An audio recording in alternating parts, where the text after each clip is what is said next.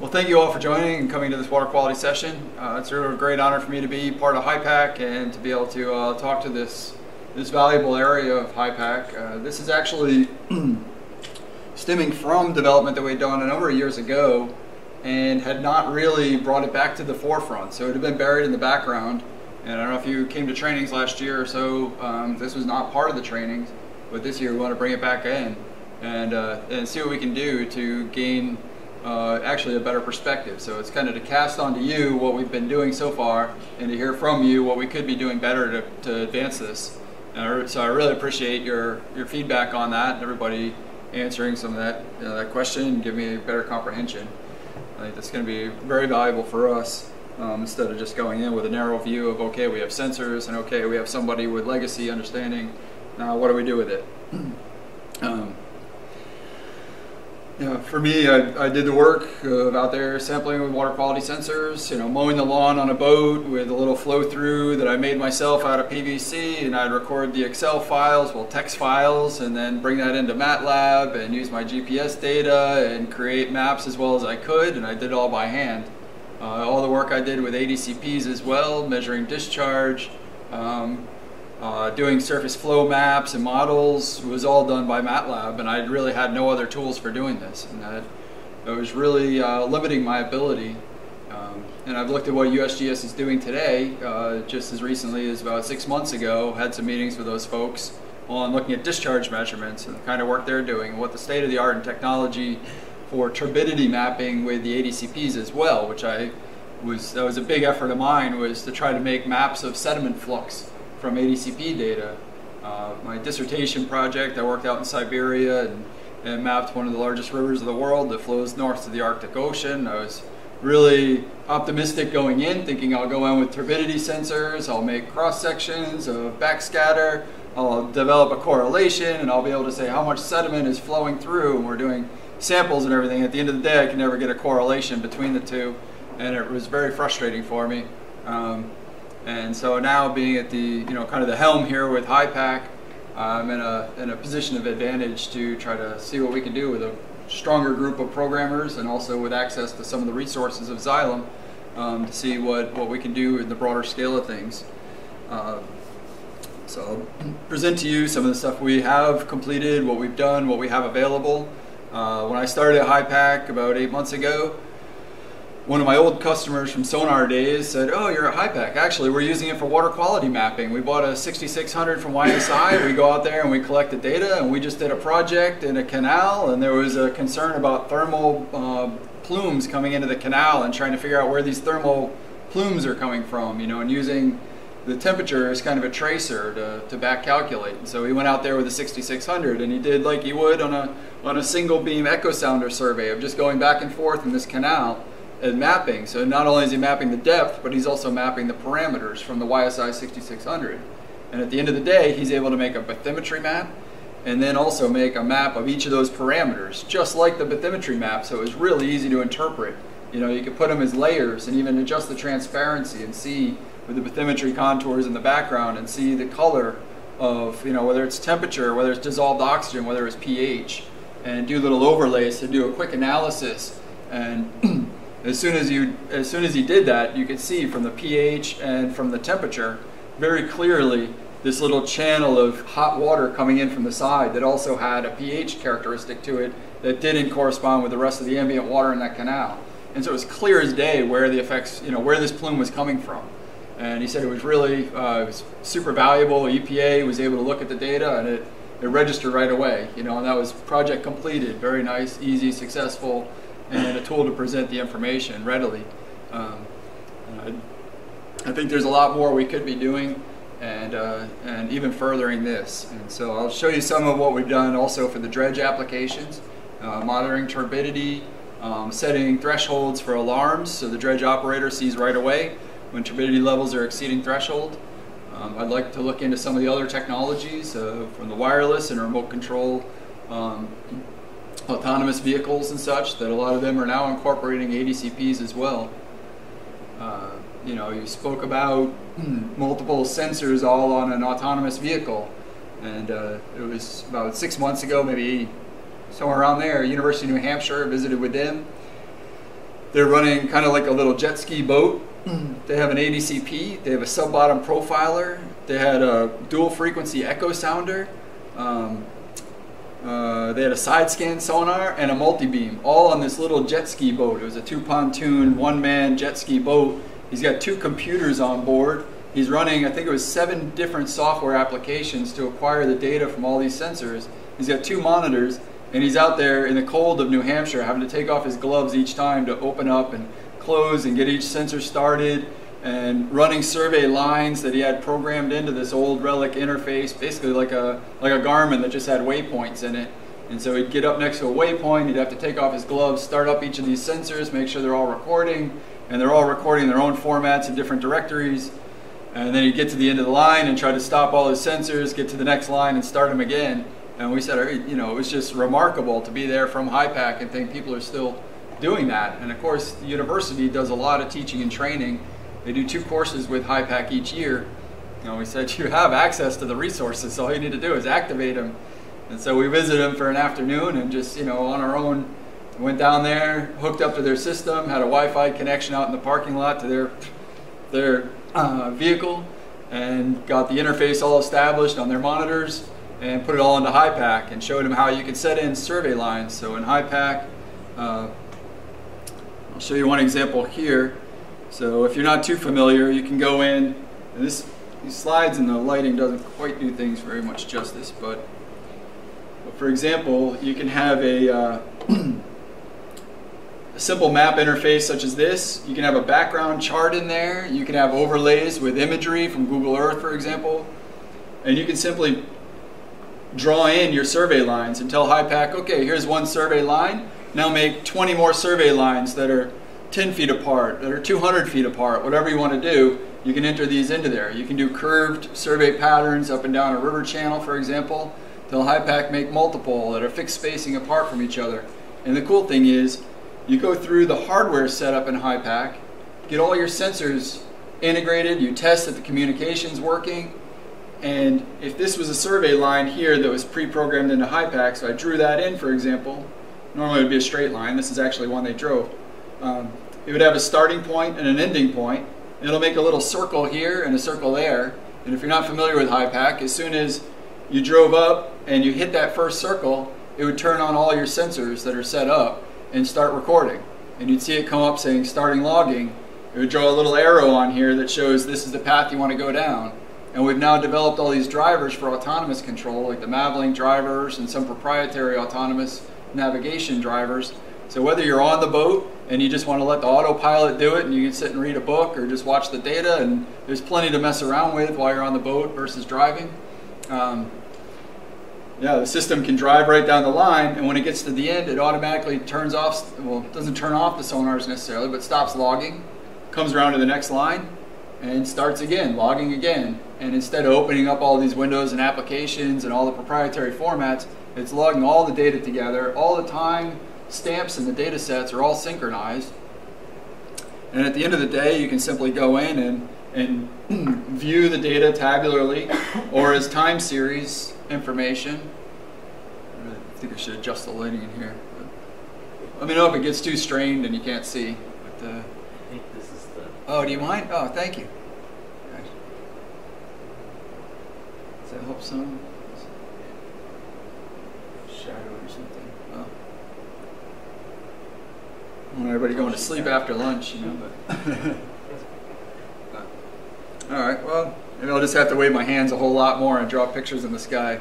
I kind of prefer that to a whiteboard because I'm not very artistic. Ah, there, a little better, a little better. Yeah, you guys see okay? Excellent. So yeah, so here's an example of processing water quality.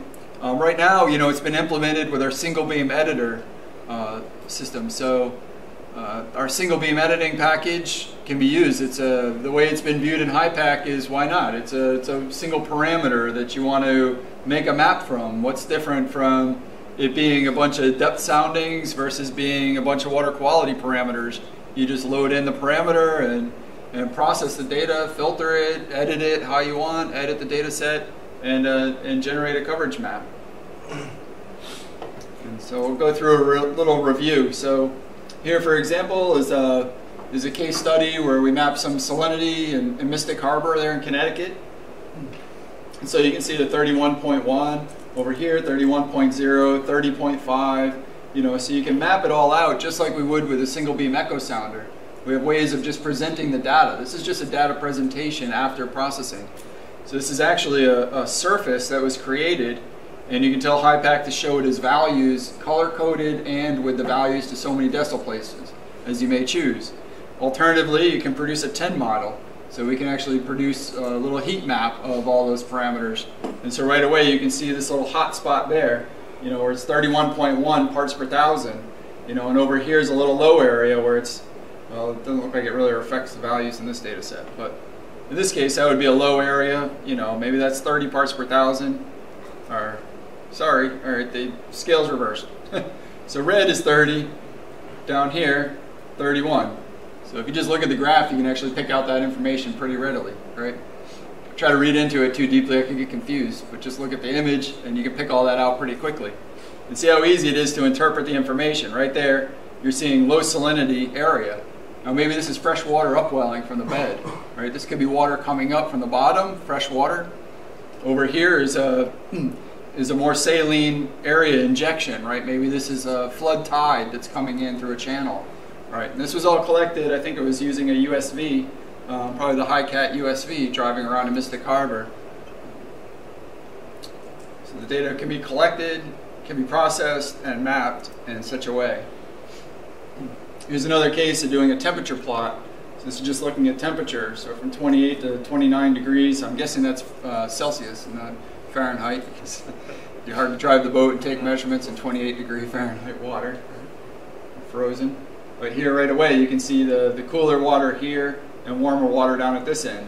And cool thing if you haven't worked with HYPACK much that you can just draw a line across here and say give me a profile, give me a transect through this area and it'll produce this map right there. So you can see how much the salinity varied right along that length of, of uh, the transect.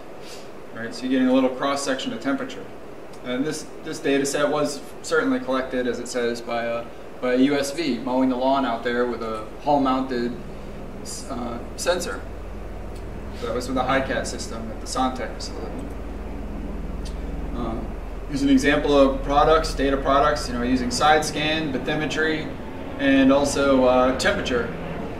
So you can overlay all those data parameters with background imagery. Uh, in this case, the side scans, you know, I'm a side scan guy. I've worked for side scan companies for 12 years.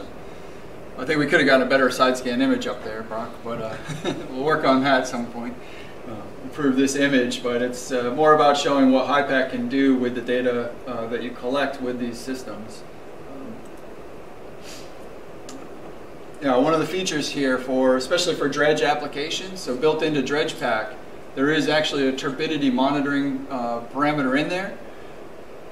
So as you're monitoring turbidity in your area, you can be looking at, at, what the what the values are, and, and you can set alarms at certain thresholds. So as soon as you start exceeding a certain threshold, so whether these are out at uh, moorings providing wireless data coming in, or if you have a USV out there that's continuously monitoring on the perimeter, uh, these are, it's all just read as a single time series of data from, from a device, and you flag it as being turbidity data, and when it exceeds the threshold, bang, a little red light shows up on the dredge operator screen and lets them know your turbidity threshold's been exceeded. And it lets them know you, really might want to consider shutting down before, before uh, you know, somebody else finds out or however it's regulated.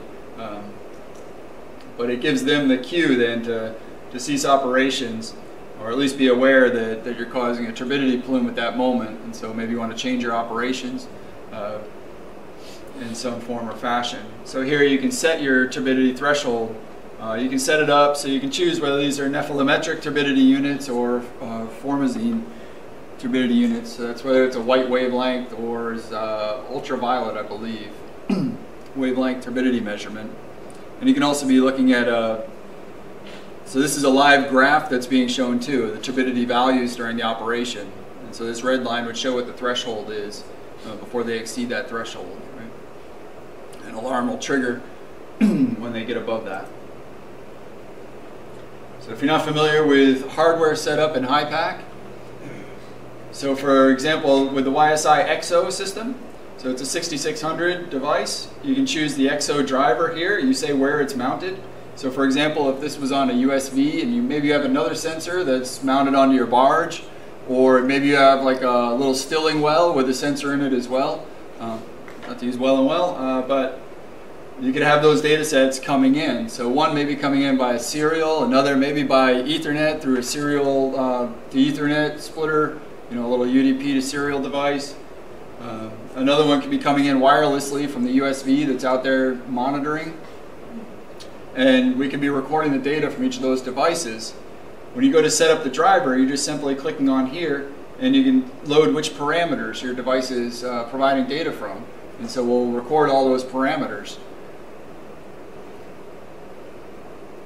So during your operation, then you can also, uh, well, you can also view the parameters and see what they're uh, what they're showing in HYPACK. So you've got another one here. Bear How with me. is that um, combined hardware Yes. package in the hot? What, what version of? That comes in. So typically we're selling Max, but I don't think you need Max for that, right, Carlos? Do you know? Which is it? Fifteen, two thousand fifteen? Oh, 2015. So it goes back to 2015. Do you know what version is the minimum they need for that? Is it HYPACK Max or HYPACK Max? Well, in all versions. It's in all versions. or- The combined hardware, yes. All right. For A feature from two thousand fifteen. okay. Thank you. Does the single beam editor recognize that many parameters? Because I've, I've cheated with other sensors in the past and used like a fake driver to record something and treated it like single beam. So will this, this will, this will track, can you open it up in the editor? Let's say you go back to that other EXO driver. You know, you had, let's say you had five different parameters that you were measuring. Can you still open that in the single beam editor and look the five parameters? two parameters at a time? You, you have to see two parameters at a time in right. the single beam editor 32 bits. So it's still, it's still... On the 64 you can see up to 9. Oh, so if you're using the, the new one. The last one, right. Up yeah. to 9. Up to 9, okay. At the same time. But that's only in the 64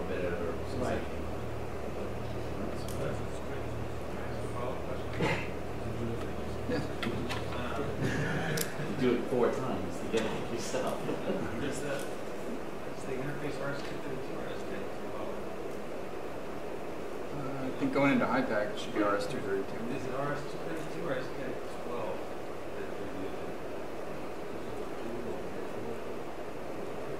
So progress. I think it should be RS232 for for our side. So once the data come into the computer, It has to do with, you know, how the device sends it data. oh, all right. Um, Is that just the null modem?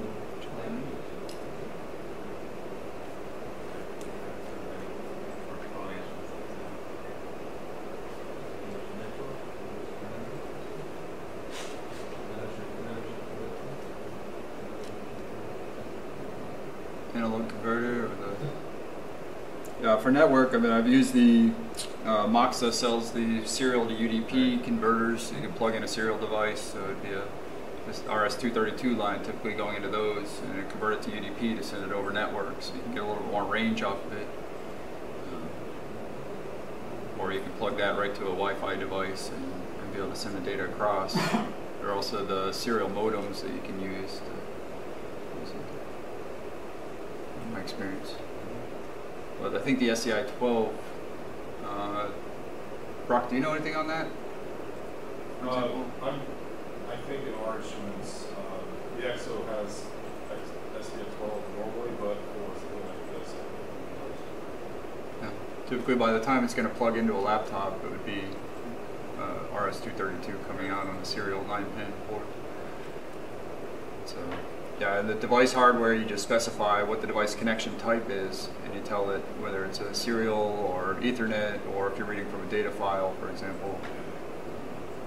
And then you specify the protocol that you're using, you know, so baud rate, flow control parity and all that stuff. Over it's UDP over Ethernet, you know, then the IP address and UDP port. We're pretty robust in that uh, ability to read and from multiple ports and even read multiple uh, data streams off of a single serial port too. So you could be reading off of one serial port, read it into one device driver, set up another driver to read from that same serial port, and be bringing in different data that you're wanting to view from that same port. There's a lot of uh, a lot of functionality we've developed for the. I think we support some 400 devices right now with very widely varying formats from you proprietary binary and and then uh, ASCII outputs and things that, that come in for different devices.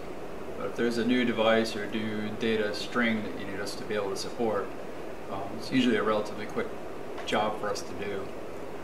And so you can contact us at HYPACK, either send something to help at HYPACK, or uh, yeah, if you got Jerry's line, yeah, you can call Jerry. But either sales or help at HYPACK. And don't worry, just because you send it to sales doesn't mean you're going to get a quote for it. Uh, so sales at HYPACK does go to a whole community of us. Uh, Carlos monitors that. I monitor that. Uh, Boris, who came in and took a picture for some reason, he monitors that. Uh, we got a team there that's always keeping an eye on it, as well as Gerd, the, the uh, operations director, is also watching the sales director, uh, the email. So you send an inquiry over, we all catch it, you know, we all get to see it, and then we discuss how to handle that properly. Especially when it's an inquiry or request for a driver, then that falls into our sales purview as to how we want to handle that. We see a broad use for it and a lot of opportunity, then most likely it's something that we're going to put into our roadmap and get it completed.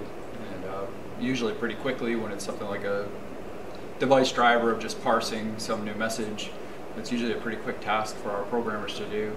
Um, if it's something you want specific for you, you've got your own device you made in your garage and you know this and that, we may actually have to ask for some payment to get that done. Um, but for these applications, that's uh, going to be a very rare situation where we actually have to ask for payment to get something completed like that. What uh, the is the open in SBMax Vision hours? Is it uh, is it sensor coming from, from the same driver or the sensor can come from different sensor from different driver? For example, if I have a GPS for computing and I have nine different sensors, each one from a chain pass driver or a generic driver, can I open all The of them? at the same time, no. How can I introduce all of It them? only work on the, on this uh, sensor that has all nine variables coming from the same sensor. But it's not configurable specific to the Yes. Zealand sensor. You did not do a nine sensor gen pass driver. No, no, no. You plan to do something like that? Um, I don't know. I- I'm making a note of it now, Benoit. Yeah. I'm making a note of it now. At the Gen Dev Hall.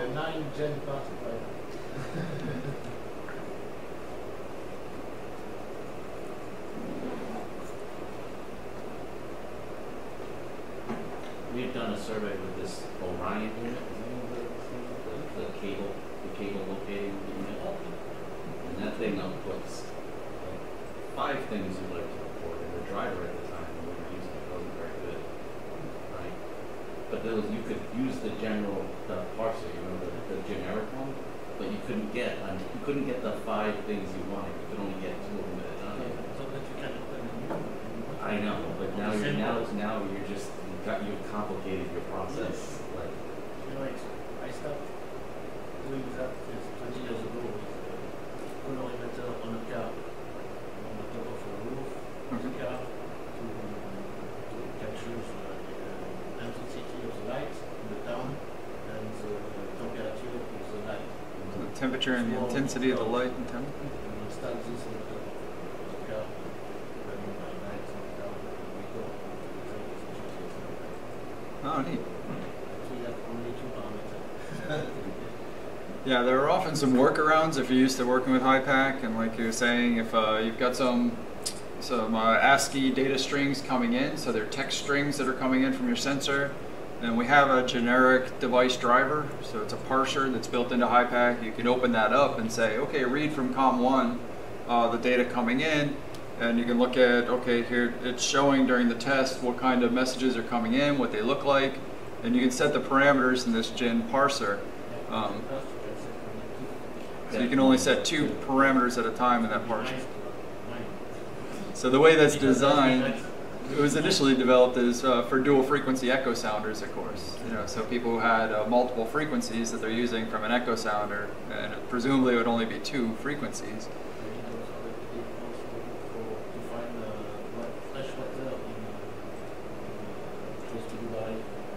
Oh, nice. Ah, heard something about that actually. Yeah, makes a lot of sense. So let's see if we can open that up for nine parameters. And I mean, yes, it may be a little tedious to set up, as as Benoit was suggesting. Okay, well, you can run the GenDev parser in one instance to look at your first two parameters, another instance to look at another two, and another two, and another two. If you want to get all nine, you've got, you know, five instances of it coming in. Um, one value is you save it to the INI next time. Should remember.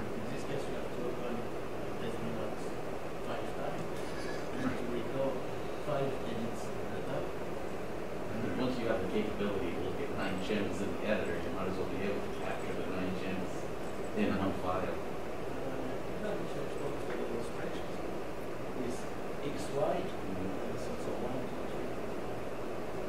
Yeah, just a one. Well, we should be able to. Well, it's something we can do. I'll say that much. Just see what timing we can have that ready. I appreciate that feedback. I made a note of it.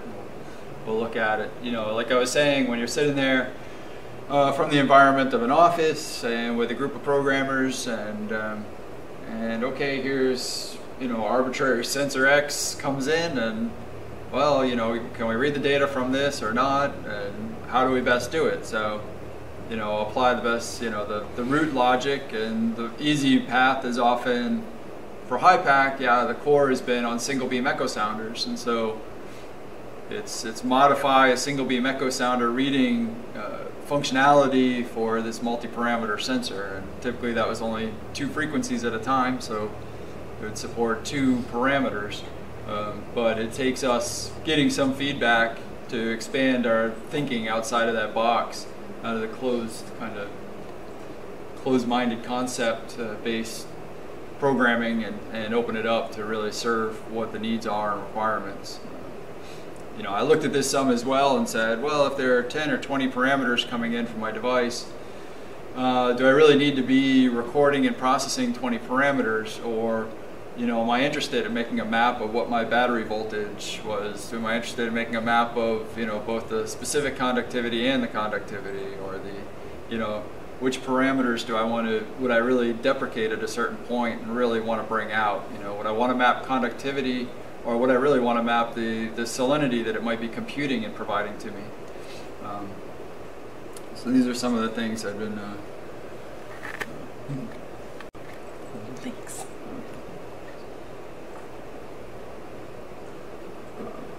Are we good? What time does this go to?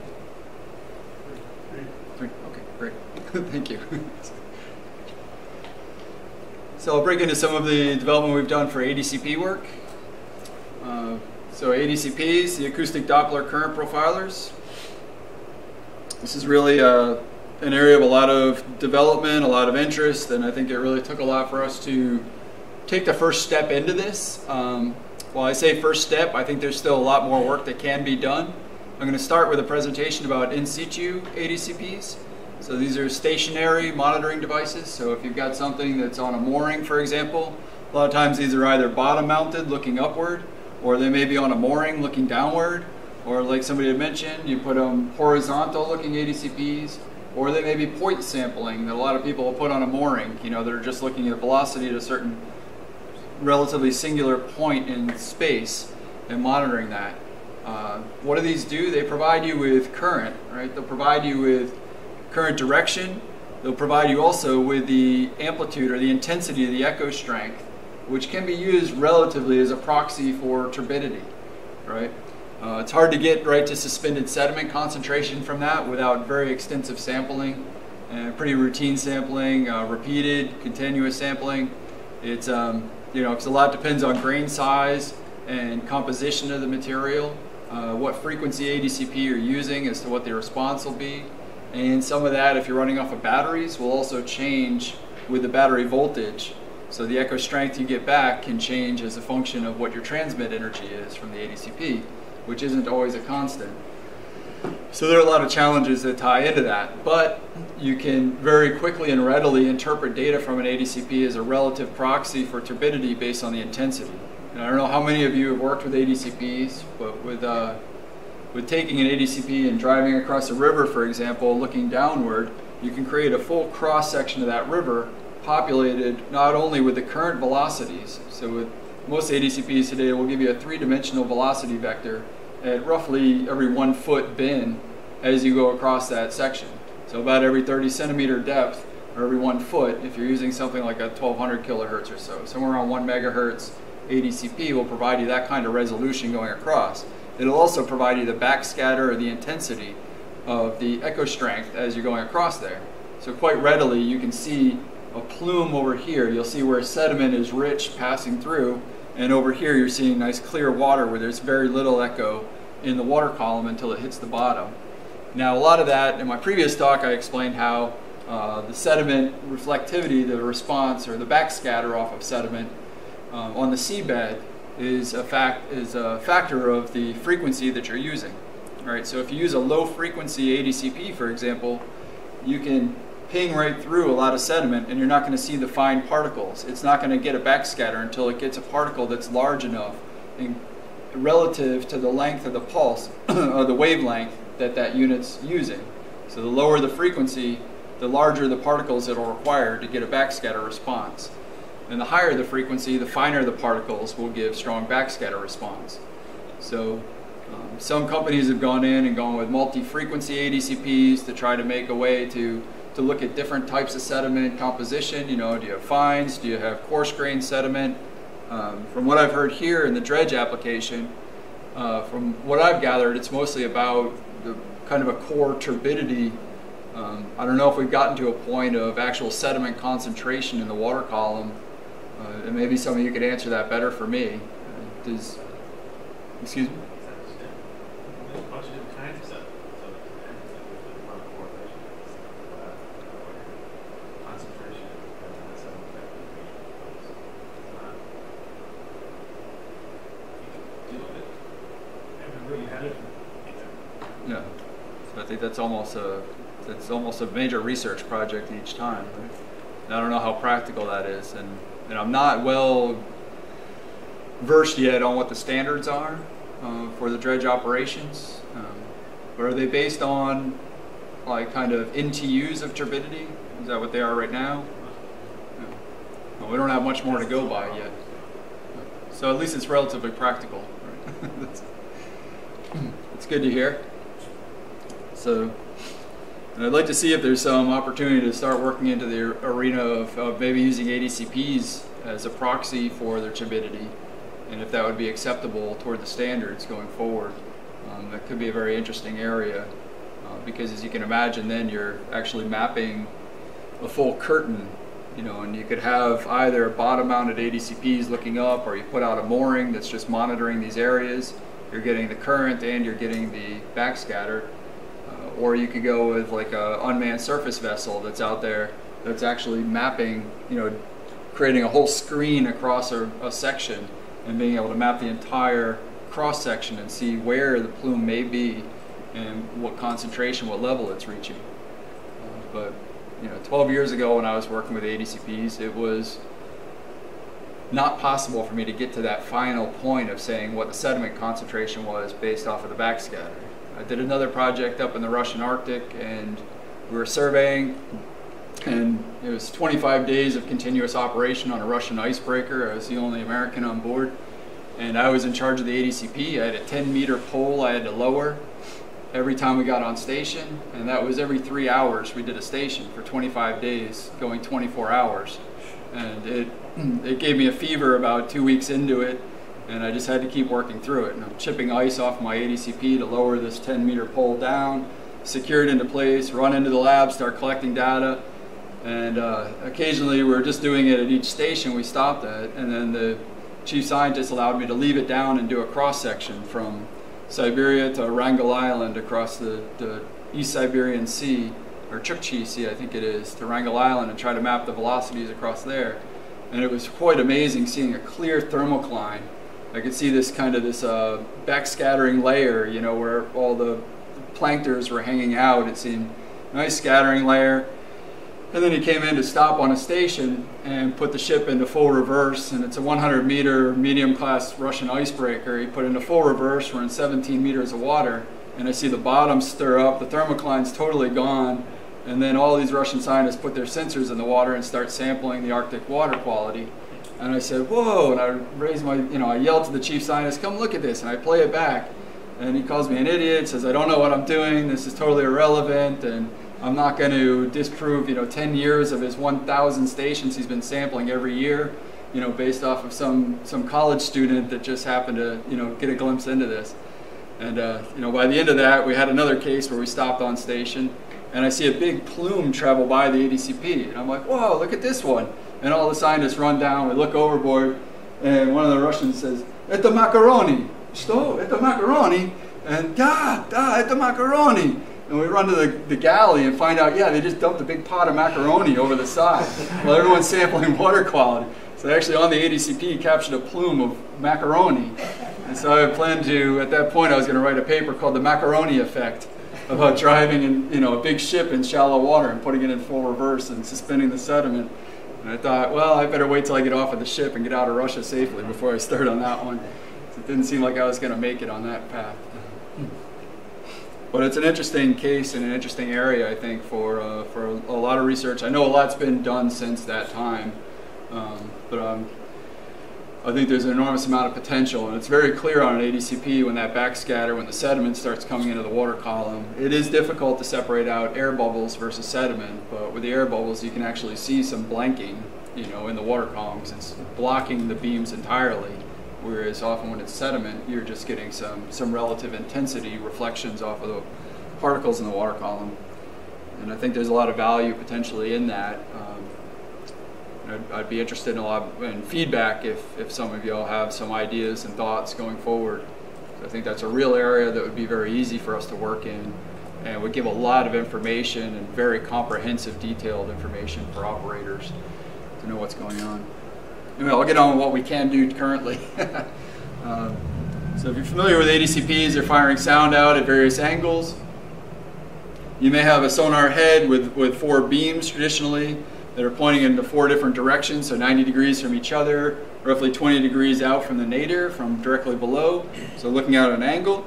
And are called Doppler profilers, right? They're sending sound out in this direction, and they're measuring the Doppler shift of the echo coming back, right? The Doppler shift, you know, they often refer to a train car, right? So a locomotive. And if you think about a train coming toward you, right, it sounds like a as it's coming in, right? It's getting higher and higher frequency as it's approaching you because the sound is compressing and the echoes that are coming toward you are actually getting shorter and compressed, so it's a higher frequency. There's shorter and shorter wavelength because that sound is coming back compressed. And when a train is going away, it's boom, right? And it's going away from you, the wavelength is longer. And so you're hearing that longer wave is a lower frequency. And so the ADCP transmits a signal out at a fixed known frequency. When that sound hits particles, it listens to the echo that comes back off of those particles and does the wave is the wavelength compressed or expanded in that echo right? And that tells it are particles traveling toward the transducer or away from the transducer? And once you do that in four directions now you can compute if you assume it's the same in the entire volume that all four of those transducers are sampling now you can compute a three-dimensional vector right? And if you do that at every interval of the water throughout the water column, now you can stack them together and put arrows together through the whole water column and know in this volume, this sample, this cylinder of water, at every one foot interval, I now have a velocity vector And if I do that and drive across a river, for example, I can compile all that together and compute exactly, well, quite precisely, how much water is actually flowing through this cross section, right? And this is used a lot now, and it's kind of common usage. When I started this back in 99, working in that arena, it was relatively new, and a lot of people didn't know much about ADCPs. It was just one of those new four-letter acronyms, you know, that's you know, just getting used to 80 uh, GPS, you know, and now you throw a four-letter acronym, you know, it's hard enough with just three. um, so it was another one of those kind of uh, black magic tricks that people were playing, but now it's kind of common usage. And I think it's about time we start making more use of those, uh, that technology and develop some real software for supporting it. And people don't have to sit with MATLAB and Excel sheets time and time again. Uh, those days are, are nearing their end for routine operations. Leave it to the researchers. Right? So for HYPACK, we read the data from various ADCPs. There are multiple manufacturers out there. SonTek, it's part of uh, Xylem, is, is part of our family of companies in Xylem, as is HYPACK. Uh, is one manufacturer. There's also Nortek, there's Teledyne. Uh, they all produce ADCPs. There's also Rowe, is now a uh, relatively new guy on the block. They actually all came out of a core single team of, of engineers that have since kind of just dispersed and started their own companies over time. Um, there's quite a variety. So here's the M9. So you can see nine transducers. This has two frequencies for ADCP simultaneously operating, or guess they, ping in sequence from one another, plus this middle transducer, right? So that middle transducer, what do you think that's for? For depth, yeah. So you've got a single beam echo sounder basically built into the middle of it, and you've got two frequencies for ADCP on the outside operating. All right, so that's what we call the M9 or the Hydro Surveyor, right, from from SonTek. So we can support a lot of data from them. And you see something here, the Nortek Aquadopp single point current meter. So that's got, is it like three little transducers? It's on a stick, and it's got a little battery pack typically, or it's wired up, and it's sampling at one point in space. So it's giving you a vector of water flow in that one location, so you can you can map that very readily. So in HYPACK, the workflow is setting up the import parameters. So we'll walk through a little bit of the, the setup here for those interested. So you can enter the station information, you provide the metadata. So this is versus what USGS would be doing of filling out a little sheet at a cross section and saying, okay, here's the location, here are the, the information about where I am, you know, again at the same cross section that I do every week. Um, or at every different flow, you know, interval that I can I need to map. Um, you provide the orientation of the instrument, so is it up, down? Uh, you can provide tidal information. And this again is for an in situ sampler, right? So this is either moored or fixed to the bottom. It's in a fixed location. It's either looking up, looking down, or looking to the side, or point sampling. You can set the interface detection parameters, so uh, related to backscatter echo strength, does it have a pressure sensor on it, uh, do you have tide data, uh, are you doing bottom detection to determine the, the depth, right? Uh, you take into account the date and the time shift and correction, so synchronizing it to your GPS typically, or to local datum if you want for time. There's a pressure sensor for the depth, and there's a calibration process that you can go through on that. Uh, we can support the temperature, the salinity. Uh, is there a sound speed sensor? Most of them do not have uh, a true salinity or sound speed sensor on them. A lot of them just measure the temperature and the pressure. Um, also, is there an attitude sensor? So providing heading, right? Is it a compass heading or is it using some kind of a other heading source? Um, you can have roll pitch sensors on board. So knowing what the orientation or the change in orientation over time, especially if it's hanging on a mooring. And then we go through the display and export. So this is the processing of the data from it. And so how to validate and invalidate the data. And that's based on the parameters that you're recording. So with the, you know, based on time, if there are jumps in time or something, uh, based on, you know, duration of time intervals, um, based on the different parameters you record, the roll pitch, you know, did it fall over or go 45 degrees over to the side? And you don't really want to be measuring over there. You really want to be measuring only plus or minus 10 degrees of roll, for example, or 10 degrees of pitch. Um, and then the uh, display of the current data.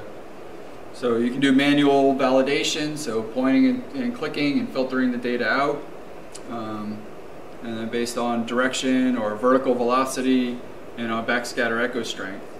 And then you can save in HYPACK format or you can export to ASCII files, uh, ODV file, which is a kind of a uh, database file, and uh, or for research applications.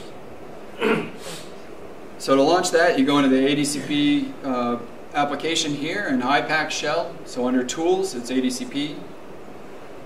You can go over to Profile, so that would be like a vessel-based operation where you're mapping discharge, for example. Uh, or you can go into ADCP in situ, which would be from a mooring.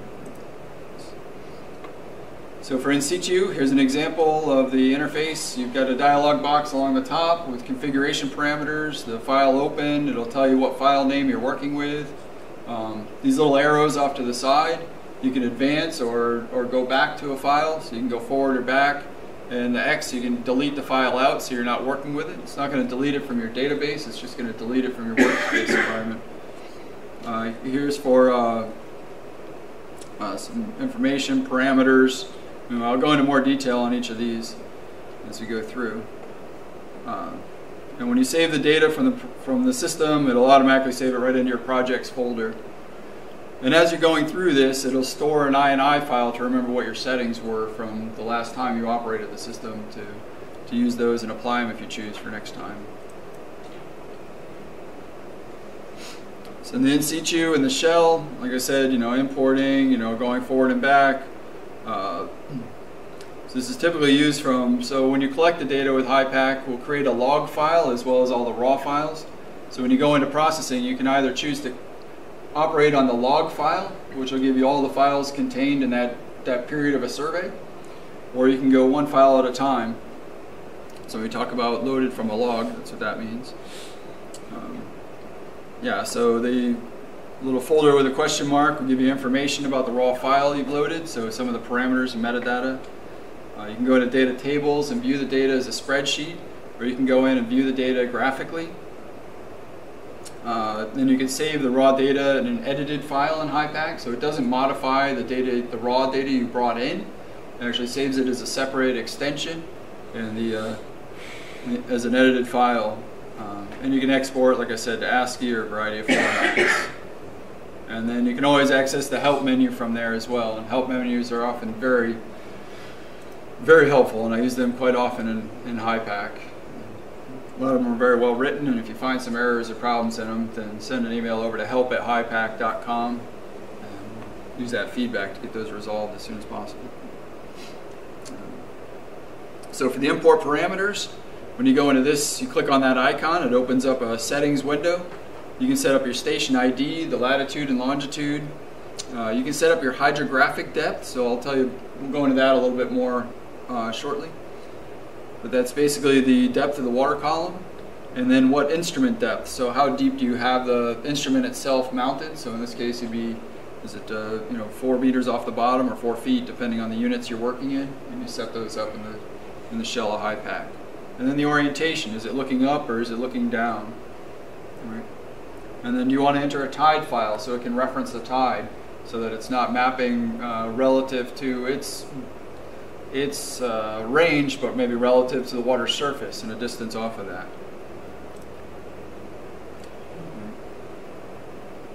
So then, uh, yeah, you can go into station settings. So in here, you know, like we already just talked about all these parameters.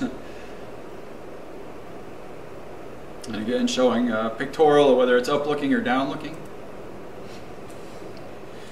And then uh, if there's a water layer that you want to export, so this will allow you to subsample the water column. So for example, if you have an ADCP on the bottom looking up, say through 50 meters of a water column or 50 feet of a water column, depending on the parameters you're working in. In this case, it had a 50. So you're, uh, I don't know if they left or came in. so you're looking through the water column and you say it's you know 50 units of meters, um, and you only want to subsample that to, in this case, they're showing uh, 10 to 30 meters. So you want to just take a section of the full water column, of only 10 to 30 meters. So you just want to use 20 meters of the water column to really do the analysis on and, and process. Um, and then whether you want to use hydrographic depth or not use hydrographic depth. And uh, yeah, so then if you're if you do not select hydrographic depth, you'll be using the water level, and then you must have a tide file associated with it. So I'll show you a graphic relative to that. So measuring at hydrographic depth, you're looking from the bottom up, and you've selected in this case uh, 10 to 30 meters. So this is a 20 meter portion of the water column that you're evaluating the current velocities from, and also the intensities. Uh, you've selected measure hydrographic depth, um, so therefore you're looking only between 10 and 30 meters. And what's shown at the top is what the water surface would look like, you know, with a tide that's flowing through, and it's an arbitrary tide because you're measuring hydrographic depth. And in this case, you've not selected measure hydrographic depth, so you have to enter a tide file. And that way it's going to track relative to the water surface according to the predicted tides, or if you already have the tides measured, you can input those in post-processing. And it'll be looking relative to the water surface according to the tide, what it was running. And so you're looking depth below surface as a, as a constant versus height from bottom is a constant. Right? In this case, they changed the parameters in this pictorial to uh, let's 30 to 40 meters. So you're just looking at a 10 meter segment, right, relative to the water surface. And this is where measure hydrographic depth not selected, but they've changed it to 0 to 10 meters. So you're looking from the water surface down 10 meters following the water surface, and only looking up uh, close to the water surface. Now, in, in reality, there will be a certain blank distance at the very surface of the water where you have the air interface. You're not going to get usable data right at the air interface. Very similar to looking down, you're not going to be able to use the data right at the bottom. Um, but it's, it's as close, about as close as you can get now with any technology. Um, that's a function of the ADCPs. Uh, so here you can apply your time shifts. So if you're collecting the data and you need to apply an offset to local time zone or you want to go to the you know, to GPS time, you can synchronize your clocks and apply the offsets here. Um, you know, if there's a drift, I hope not, uh, then you can you can compensate for that here. There's there are certain parameters of time that can compensate, so making a shift as well. So it automatically corrects for uh, for the units from SonTek, Nortek, and RDI right now. So that's so it's already taken into account. You don't have to worry about the time shifts. Um, so relative to time, if you're not very familiar with how the ADCPs are sampling, what's shown here is uh, is kind of a, a burst of data. So what they'll do in this case, the system's set up for an average interval of, of uh, 90 seconds and a profile interval of 600 seconds. So for 90 seconds of profiling, it's going to continuously sample, and it'll take the average for that 90 seconds. And from the start of that sampling, it'll wait 600 seconds until it starts sampling again. So this reduces the data volume that you're collecting. A lot of times the in situ monitoring systems will be with a with a data logger on board. So you may have limited battery and data storage capability, and so these will make a burst sampling and bring it down to just one, you know, one uh, profile basically for that period of averaging, and then it'll wait a certain period of time. Instead of continuously sampling and collecting a lot of redundant data streams. Um, it'll sample a burst, get an average, wait a period of time, sample the next burst, get an average, wait a period of time. A lot of times these bottom-mounted ADCPs will be out there for, you know, maybe 30 days or more at a time, and so you don't really want to have to sit there and sift through or process 30 days of, of profile data when, uh, let's see, this is a range. So this is a this is a one megahertz system, so it's a 1,000 kilohertz. It's probably got a maximum range of about 20 meters. Um, you know, those tend to sample something around twice per second. So if you leave it out for a month and you're sampling twice per second, you can imagine that's a lot of data you're collecting. And if you're out in the open ocean, you may not really need two times per second continuously for 30 days to monitor, you know, what, how the weather shifts, how the tides shifted, you know, so you break it down into something more, uh, more palatable when it comes to processing later. If you put the, put a little effort in on the planning on the front end, you know, it's another one of those cases where it saves you a lot more effort and time on the, on the backside. Uh, another mode, and so this is showing with a, uh, remember if it shows what model, but anyway, uh, in another mode you can be sampling continuously. So here it's running at uh, pings per ensemble, And if you're not familiar with the ADCPs, yeah, an ensemble will typically be a, a sample, right? Or a, a packet of sample. So this is doing by pings, so 180 pings per ensemble, and then it's 180 seconds per, per ensemble. So it's running this full period here, that's the full time. It's pinging continuously throughout that period, and it'll take the average, and then begin again immediately afterward the next packet. So those will be, you know, so it'll ping for a while, take an average, ping for a while, immediately afterward take the next average. So it creates kind of a downsampled time series that's relatively continuous. Right? It contains continuous information in there where you're not missing something.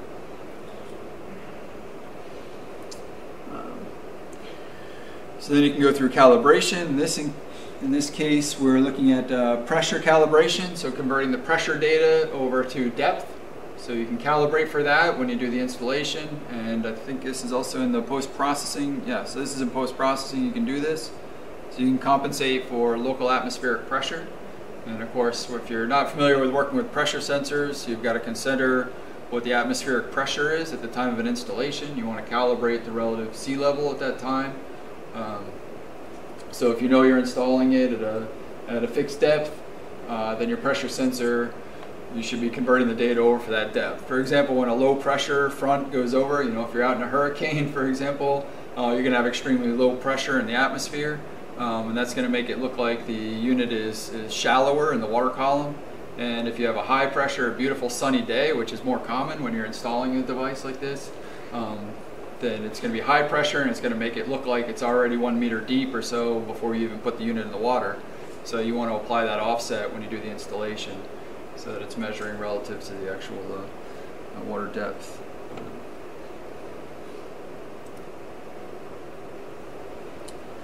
Uh, again, calibration process. So here we're going through the tabs from time, pressure. The next one now is temperature. Uh, I don't think many of these really allow a value for calibrating temperature, but it's available there in case it was supported. Uh, you can also do for salinity. Here in salinity, um, yeah, and this can vary based on manufacturer, of course, as to what device you're using. So use a little caution when you're running through these steps. And then sound speed, again, which is very similar to doing the salinity calibration, kind of a two point.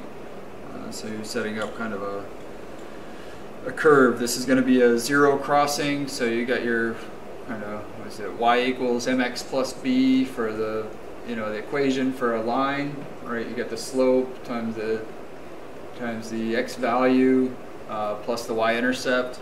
So one of these parameters is the y-intercept, the other one is the, the x value for that given uh, point in time, or the, the slope and the y-intercept, right? So it scales what the what the angular variation would be and what it's relative to. Um, but typically these uh, these equipment uh, do not have sound speed sensors on them. Um, like I mentioned before, they'll temperature or uh, or conductivity sensors perhaps. You can go through the magnetic uh, calibration for the compass on board, so make sure the heading is aligned for the magnetic variations that are in your area. So usually a hard iron, soft iron kind of calibration, you know, and that's so if it's rotating around, uh, it's taking the measurements, then then as you're passing through uh, different interests, then you can calibrate for those uh, here. So this big polynomial down here, that looks like a lot of fun. These are the parameters that you would input if you want to go through the calibration of the compass uh, through the uh, through this interface here. And otherwise, you can enter the magnetic declination. So this will be that's kind of like your magvar, as they call it, in surveying. You know, if you're uh, working in, in a chart datum and from true north versus what the local magnetic offset is at that point in time. So you can adjust that shift in there. An old NOAA charts, you would look on those and it would say on this date the magnetic variation is this. True north is here, but in this location, at that date the magnetic variation may be you know some 10, 20 degrees, and it'll say plus there's a shift of so many degrees per year or so many seconds per year. You'll have to apply to that shift for what the magnetic variation is locally um, relative to a compass heading versus true north depending on how you want your data output to come and how accurate the true north you want those results to be. Then you can save your configuration file. So once you've done all that hard work, you probably want to save the config file, right? You'll be able to reference that later. Now we'll go into the data displays, which I think are a lot more enjoyable. So we have the options to display data tabularly. So when you collect the data here, um, looking at the various parameters. So these are per uh, per sample. So here we're looking at this is relative to time. It's, yeah, time. You have the tabs across the top. It shows here a time, temperature, salinity, speed of sound, pressure, heading, roll, and pitch. So you can tab through the samples and see what the actual raw data were that were collected. And you can use this to manually go through and validate or invalidate the data you collected. So it'll flag it as valid or invalid. Um, you can also apply filters on these as well. So you can do an automated process of going through. Like I said, if you want to kill anything that's got a roll of more than you know 10 or 20 degrees, anything that's got a pitch that exceeds a certain threshold, you can set those parameters as filters and and invalidate data so they're not used for the, for the final output uh, working. Um, yeah, and so you can open multiple spreadsheets at a time so that if you want to look at one tab and how it correlates against the other, if you want to look at, you know, so here they're showing raw speed versus raw temperature versus say, uh, this one is has pitch, so pitch, speed, and temperature, why you'd want to correlate those and see if there's some kind of a, a, pattern between them. You know, every time my pitch exceeds a threshold, my velocity seems to spike or go down to zero, then I'll start knowing what threshold I want to set for my filtering criteria by, you know, manually correlating the data across. So here's some steps on how to validate and invalidate. You can do multiple selection, hit shift. Uh, so hit shift, you can select multiple rows and then hit delete and it'll invalidate those rows of data. Uh, and if you simply hit delete again, it'll revalidate those rows. So it's, it's something that you can turn on, turn it off pretty readily as you go through the process. Um, and then, uh, yeah, to validate all the lines, whether or not they're ticked or not, you can uh, make a multiple selection, then press the escape key, and it'll go ahead and select all the all the values. And if your graph is open, uh, you must update for your spreadsheet edit. So, so right click and simply say, so when you right click on it, you can refresh the graph and then the graphical display will update according to what you've done on the spreadsheet for your validating and invalidating. So as you've gone through and, and remove samples or, or brought samples back live, just right click and say refresh on the spreadsheet and your, uh, or on the graph and your graph will be updated accordingly. So we'll go ahead and show what the graphical display looks like in a moment here. So you can right click on the spreadsheet to ac access the graph. Um, and then you can also graphically select, so pressing the control key and just clicking and dragging, you can select data from your graphical display. So like in here, this person had hit control and just selected all the data here. You can see as it was measuring, what they're showing is a parameter of pressure. So they're graphing pressure along here. And at a certain point, the pressure sensor dropped out, so they probably took it out of the water. And so at that point, they said, well, we want to kill the last, you know, portion of that tidal cycle. So they just went ahead and highlighted at this trough at low tide, perhaps, and uh, and selected everything afterward to delete and invalidate all that. So you're not processing all the all the data from when you retrieve the ADCP or stop using it. You can zoom in and zoom out with your mouse wheel and such. So a lot of, a lot of capability to pan around and, and look at the data that way. So then you can go in and filter, like we said. Uh, so here you can go and filter based on pressure, temperature, if you have salinity, you know, the heading, roll, pitch, um, uh, setting a scaling. And then, yeah, so you just go through the tabs on the filter. So this again, uh, Going through the tabs here, you know, based on pressure, you can enable or disable. And this, I think this should be overlaid on top of there, sorry. Um, anyway, you can go through the parameters here for pressure and uh, that out of the way to see what's. There we go. on my PowerPoint edits. So here, yeah, so you can enable, set a minimum, maximum value, and whether you want to apply that to the raw or the corrected data. And then we get into now processing and display of the current data. So that's after going through kind of the, the attributes about the data that were collected and setting your filters accordingly. We do a similar workflow when it comes to the hydrographic data. So when you're out there surveying, right, if you want to set it by your GPS quality code, you can flag your data as invalid if your quality gets below a certain threshold. You know, if you're not running RTK fixed and you don't want to collect data or process any of the data that weren't collected with a fixed RTK, you go through and set that, your navigation parameters. You'll go through your motion sensor and set what your thresholds are for using hydrographic data according to your motion sensor thresholds, right? So it's a similar kind of a workflow pattern um, that you go through here. So now we can get into profile display. So you can bring up the profile and actually look at the data you collected. So this would be looking from the bottom toward the surface. This is the up-looking unit. You're looking at a, a slice here through time. And so it's got the values of time across the top bar, and on the left-hand side, on the y-axis, you've got the depth.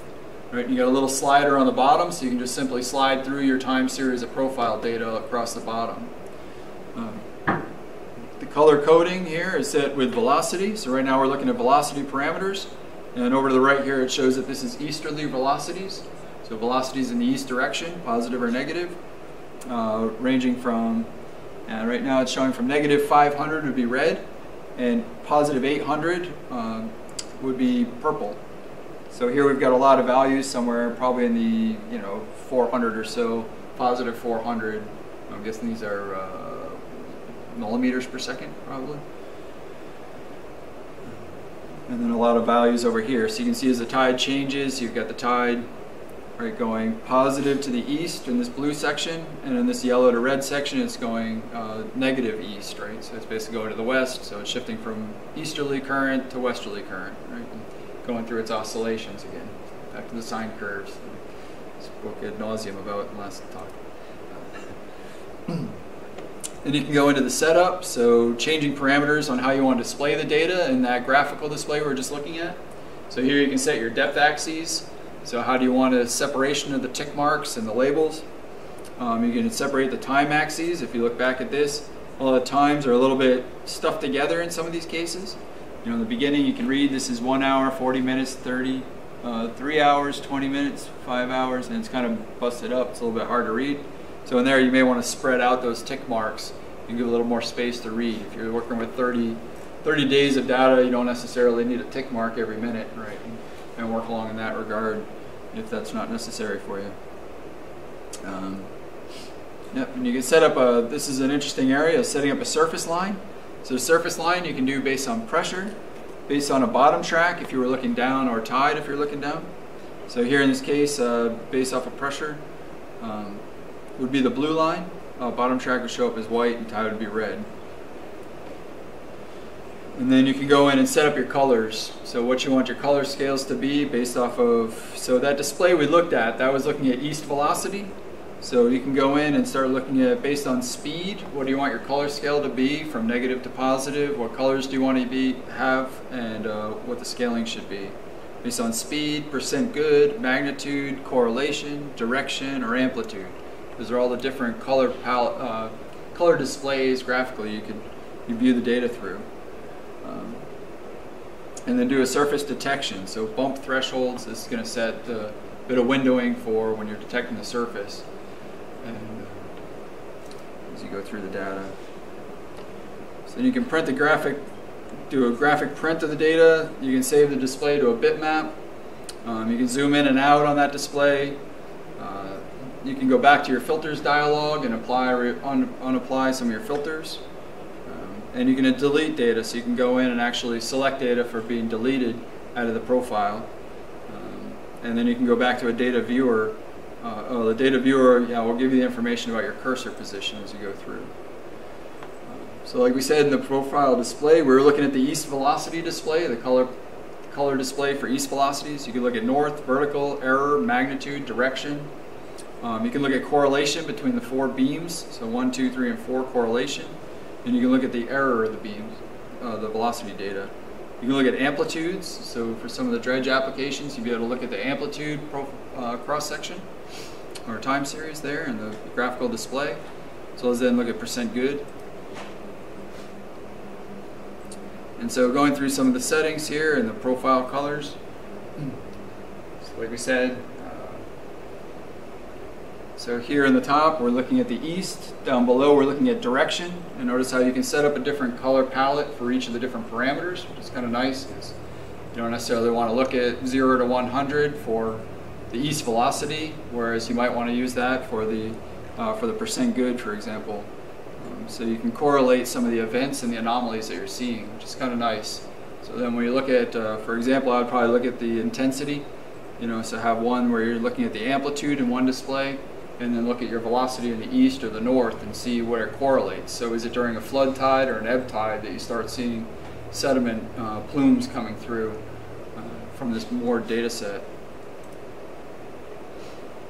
Um, so then like we showed before, so looking at a surface line, this blue line is based off of pressure. So it's the pressure that's being read at the sensor on the bottom. And the red line is based off of the tide. So if you inputted a tide, if you had input a tide uh, data set, it's showing what the tide is that you entered versus what the pressure sensor is telling you. And like we said before, if you click on a single value out here, you can get all the data for that value, for that cell that you're looking at. So this is showing the record ID, what the heading, pitch, roll, and velocity correlations were at that point. Also give you the time tag at that point, uh, which cell it is, so the ensemble and the cell. Um, it'll give you the velocity values, so east, north, up, uh, so vertical and error, as well as the amplitude, the correlation and percent good, the magnitude and direction of the velocity there. So a lot of information that you can pick up out of uh, working through the data set. Um, we can also do profile and time series. So you can extract out profiles from the data set. So in this case, you're looking at, uh, at profile number 234, extracted out that profile. And we're presenting here, like in red is the east velocity. Let's say green is the velocity north, yellow velocity up, and blue velocity magnitude. So very quickly you can start seeing what are the dominant velocities that you may actually want to be looking at in your display. You know, if you're in a channel that's an east-west channel, it may be a little bit irrelevant to look at the north-south velocities. You may be more interested in looking at the east-west velocities. Uh, and so here you would correlate between the magnitude. So see velocity magnitude is in blue, and that's pretty tightly correlated with the uh, velocity north. So it looks like the north velocity is dominating the, the total magnitude of the, of the velocity. So it's mostly north with a little bit of, I guess this would be south because it's negative. Right, so it's a south velocity with a small positive easterly component to it. So it's a south-southeasterly dominant velocity in that profile right there at this depth point. And here you're able to look at a time series for all those parameters as well. So just looking at a simple average of the profiles. And uh, there's a scatter plot view, so you can look at a single profile as a scatter plot. So this is going out in depth. Radially out from the center is depth, so range from the sensor. And seeing how the velocity increases as you get out from, uh, and then from uh, this is direction, uh, direction and speed, sorry, as you get away from the sensor. So it's looking at a single profile direction. And then over here, we're looking at direction versus amplitude for the entire time series. So you're just selecting time series or profile. And if you select profile or time series, you can click on a little play button and it'll kind of play through all the data you collected so you can see what the distribution were uh, for all the data you had out there. And like we mentioned before, there's that uh, Nortek Aquadopp, the point samples. So this is looking at time series of point samples of data from the Aquadopp. And so that's why it looks like just vertical stripes because it's no longer a profile, it's more or less a time series of information through there, but through the same kind of visualization uh, window, so it's very consistent with the way you would work with the data uh, from the profiler. And again, we can use filters or also the cursor, but this is now on the graphical display of the data, so you can go through and apply filtering and edit on the graphic data. So you'd simply click that filter icon we saw before up in the toolbar at the top, and you can apply filters again based on velocity, amplitude, correlation, percent good, or the magnitude of current. Uh, and just by clicking the enable box, you activate those filters. You see the tabs across the top, and you can set what parameter and minimum maximum values to apply filters with. Uh, you can invalidate data by, by simply each cell type or by the full profile um, or by a certain depth level. And so that's set up in the, uh, that's defined in the param- in the setup window. So you go into there, you can define those parameters. I looked at that. So validating in the profile display. Alright. So you can go through here and, and validate data in the display window um, by simply checking the box to enable the cursor, and then you can go in and, and this is showing removing data by cell, again by level, um, or by full profile. There's also an ADC player. So in here, it's kind of a point cloud viewer. So in 3D space, you can look at a curtain of the velocities. So these are sticks of length and showing the magnitude. And you can hit play and it'll actually show you uh, through time how the currents were changing. So what direction and what the amplitude was of those currents over time. And you can zoom, you can pan around, um, scale in and out, and, uh, and typical tools for viewing those. And you can save the data. So you can save the edited data, as we said before, and that saves the parameters and all the, uh, the processing that you'd applied. Uh, and you can also export the data, as we described before. That's just simply saving with an export. So this is how the data may look as you brought it in. So when you brought in the data, you're seeing both, uh, as you can see in here, you see a signature of that area. That's actually the surface that it's hitting, and that's without any filtering above the surface. So that would be the raw data coming in from the ADCP you're hitting the surface, and beyond that is just a, it's a multipath. So you're hitting the surface and then it's kind of dispersed data beyond that surface, but it's actually just echoed back down um, what it's continuing to collect after the it hit the after the sound had hit echoed off of the surface. Um, and you can go through and uh, so there's some parameters here to apply. So this has You've selected now display surface based on none, so that's why you're seeing everything above the surface. So you could choose to apply tide, amplitude, bottom track, or pressure, like we saw in that other dialog box. Apply those as uh, the criteria for determining where the surface is. That's what we're seeing here. And if you base it on amplitude, you can see where it cuts off at the surface based on the amplitude received from the ADCP. If you do it based on pressure, we saw those lines earlier, right, the red line, the blue line. You can do it based on pressure and it'll cut off there. This E2 data, which is uh, some format to meet criteria standards um, for, I'm sure it's some environmental agency that uh, requires E2 format data output. So this will give you the, the formatted output. So if your organization requires data output in a specific format, you can let us know and we could, we could provide that output capability as well. You can also do ASCII output, so you get a full text file output of all the data, and it becomes a little parser, so you can go through and review. And here you can do ODV exports, so you're actually getting contour map exports of the time series data from it. So here is showing velocity magnitude, the direction, and the correlation average. So you're able to get that information um, in a nice simple graphic display and see it all. All right, well, thank you. Thank you for uh, participating in this water quality uh, training segment. And I hope that was beneficial to you. It was certainly nice for me to gather the information, your feedback about your interests and uses uh, expected for, uh, for working with, with the HYPACK software. Um, we do have some other capability for the profiling and discharge, uh, which I'd love to go through with you at another time. Uh, this has been it's been a pleasure to go through this with you at this point. Um, and I'll just leave you with a little sample of going through collecting some profile data from the vessel the now. SonTek and the Profiler. Inside the driver, there are three tabs: the chart tab, text tab, which will show textual information about the velocity, and then the settings. Users can preload the settings or update the settings to the instruments at any time by making changes. In the chart window, stop will stop the flow of the ADCP. Go will just resume it. You'll see the, color-coded bins displayed with the depth information to the side. Under settings, I can get to the color coding for the velocities and make adjustments to suit my own purposes. Over here is the DVL. DVL is used for a navigation device when I want to use the ADCP bottom track to navigate for short periods of time. Over here is what's being graphed. I can have the total velocity, or just the horizontal component, or just the vertical component.